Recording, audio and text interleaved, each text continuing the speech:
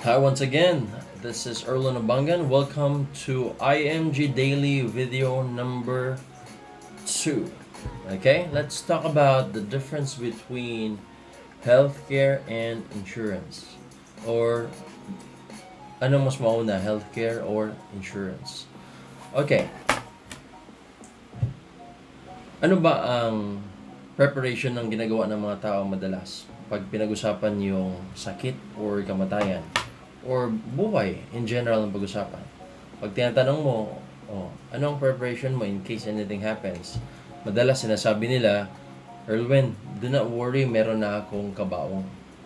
Meron na akong lupa kung saan ako ililibing. Ang sabi ko naman madalas, may pagka-pilosopo ako konti naman pag gano'n ang mga sagot sa akin. Sinasabi ko naman, okay, mas ready ka na palang ibaon or ilibing kaysa mas mabuhay ng mahaba. Then, magre-react madalas yung mga tao at sasabihin nila, Oo naman, Erwin, gusto ko naman mabuhay na mas mahaba. So, ganito ang subject natin or ang topic natin sa gabing ito or sa araw na ito, kung saan ka man ngayon, is kailangan mong intindihin ano ba ang pagkakaiba ng healthcare preparation at saka insurance. Although, yung dalawa naman ay puro insurance yan. Health insurance, yung isa naman life insurance. Okay. Ano ba ang mas mauna based sa mga nakikita or na-observe ninyo? Mamatay agad or ma-hospital muna? Okay, so ikaw, sagot sa nakikinig ngayon. Kung ang sagot mo ngayon, ma-hospital muna bago mamatay. So pag-usapan muna natin yung healthcare. Ang healthcare, yan yung hinihingi. Pagpasok mo pa lang sa hospital, halimbawa, nagkaroon ng emergency or basta na, may na-hospital, Pagdating doon sa emergency room, since emergency yung case, ang unang hanapin talaga, okay, is yung health insurance.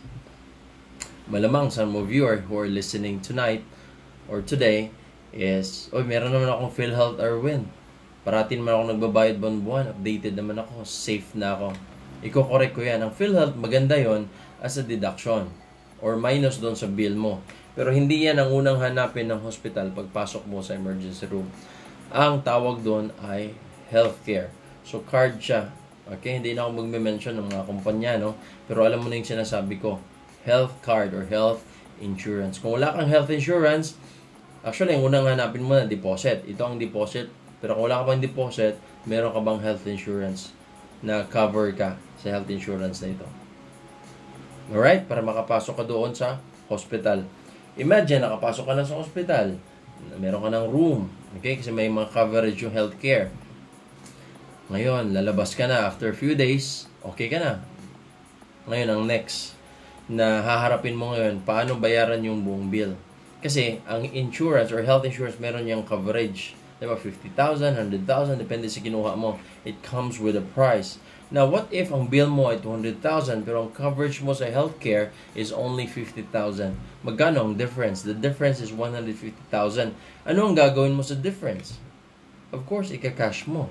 Pag wala kang pang cash, saan ka kukuha ngayon ng cash? Yan yung isang isipin natin.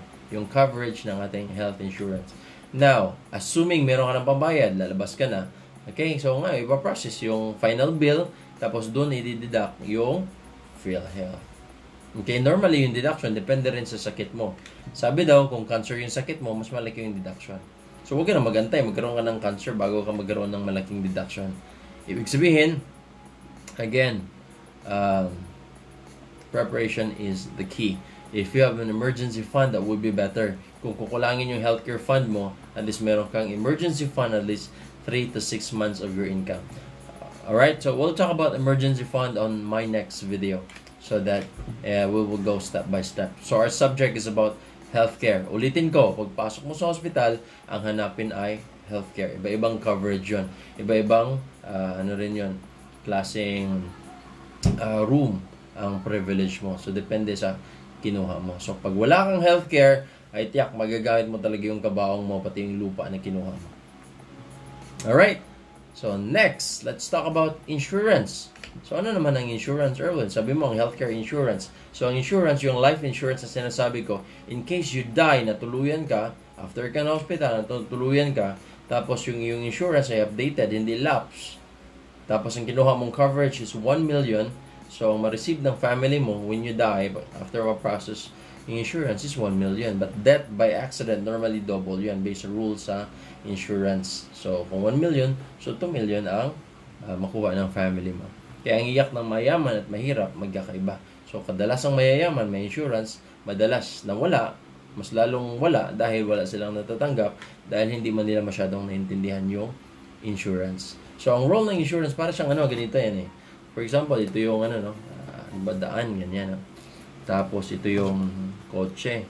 So, ang kotse, pag pinarking mo, nakaganon yung daan, so, minsan, nilalagyan mo ng ano, most of the time, nilalagyan ng, yung sa Bisaya ba, yung bangil o yung kalso para hindi atras. In case walang driver tapos biglang natanggal yung yung handbrake hindi siya atras. It's the same way sa insurance. In case mawala yung driver ang family na sa loob ng kotse hindi siya atras hindi siya babalik sa zero. Hindi kawawa yung family pag merong insurance. Tamang insurance ang namatay.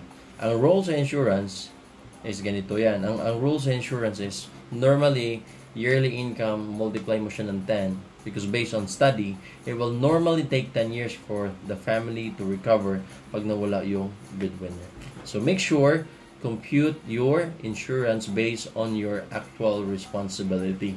Kung may utang ka pa, meron kang uh, plano na makapag-aral yung mga anak mo kung maliliit pa sila ngayon, gusto mo makapag-college sila, so likilikihan mo yung, yung insurance. So hopefully magbabago yung ating pananaw pagdating sa insurance. Hindi masamang kumuha ang insurance, hindi masamang pag-usapan ang kamatayan, especially kung naintindihan mo kung gaano siya kaimportante. Ma-appreciate natin yung insurance kung wala na tayo, especially ma-appreciate ng ating family yung preparation na yan. At ma-appreciate mo yan, mo rin yung healthcare bakit humaba yung buhay mo dahil nagamot ka ng maayos, dahil napunta ka sa hospital na tama at naalagaan ka ng maayos because meron kang health insurance. Pero pag wala kang health insurance, wala ka pang life insurance, iwan ko na lang kung anong sasabihin ng family mo when you're gone. Alright, so pala isipan po. So if you want to know more about that, watch my other videos about how to do financial planning. Once again, this is Erlwin and this is our IMG Daily video number 2 healthcare and life insurance. See you in my next video. Thank you so much. Bye bye